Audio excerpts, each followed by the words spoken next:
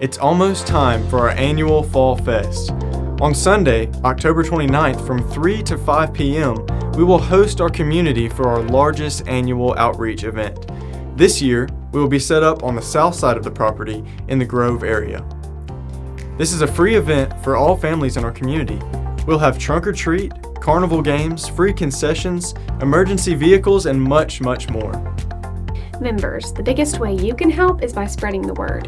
Invite your families, friends, and neighbors, and share the event on social media. We also need tons of candy. You can donate bags of candy in the white bin outside the worship center. Lastly, you can sign up in the app to serve at one of the stations during the event. More details about Fall Fest can be found on our website or on the Facebook page. We hope you'll make plans to be a part of this exciting day.